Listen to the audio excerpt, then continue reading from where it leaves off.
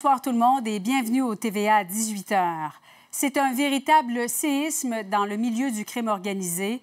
Grégory Woolley, une tête dirigeante qui est liée à la fois au motard et à la mafia, a été abattu ce matin à Saint-Jean-sur-Richelieu. Non seulement le meurtrier l'a ciblé en plein jour dans un stationnement bondé, mais il n'a pas hésité à tirer en présence de sa conjointe et de leur bébé de quelques jours seulement. Quant au suspect, il est toujours au large. Elisabeth Laplante. Eh ben moi, j'étais de l'autre côté de la rue, j'ai entendu les coups de feu. Cette femme qui a préféré garder l'anonymat était encore secouée par la scène à laquelle elle a assisté en plein jour vendredi.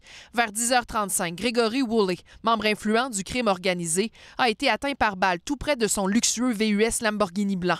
À ce moment, le stationnement de ce centre commercial de Saint-Jean-sur-Richelieu est bondé. Comment vous avez réagi lorsque vous avez entendu les détonations? Euh, ben, j'ai eu peur, je me demandais qu'est-ce qui se passait. Là. Puis euh, moi, quand j'ai approché un peu, j'ai vu le monsieur par terre. Les ambulanciers étaient après d'essayer de, le, de repartir son cœur. Que ça a été long, les manœuvres de réanimation? C'était long, oui.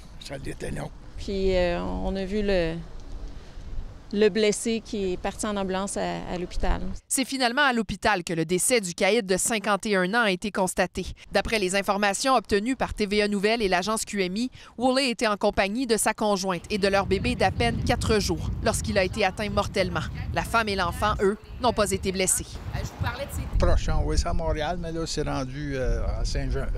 Au moins un impact de balle était visible sur la porte arrière du véhicule. J'ai vu dans le fond un VUS euh, partir en, fou. Une autre témoin nous a raconté avoir entendu au moins quatre coups de feu suivis de cris. Elle a ensuite vu le suspect qui portait un capuchon prendre la fuite au volant d'un véhicule VUS noir. Le véhicule suspect serait de marque Range Rover. D'ailleurs, un véhicule correspondant à cette description a été retrouvé incendié dans le secteur de Pointe-Saint-Charles en fin d'avant-midi. Il s'agit bel et bien du véhicule de fuite, selon les informations obtenues par TVA Nouvelles. Un résident du secteur a d'ailleurs fourni ces images au Journal de Montréal. Des témoins racontent avoir vu le suspect portant un masque et des vêtements noirs avec un capuchon fuir la scène du véhicule incendié et les enquêteurs sont à la recherche d'informations sur ce véhicule ou même sur les occupants. On parle d'un ou des suspects?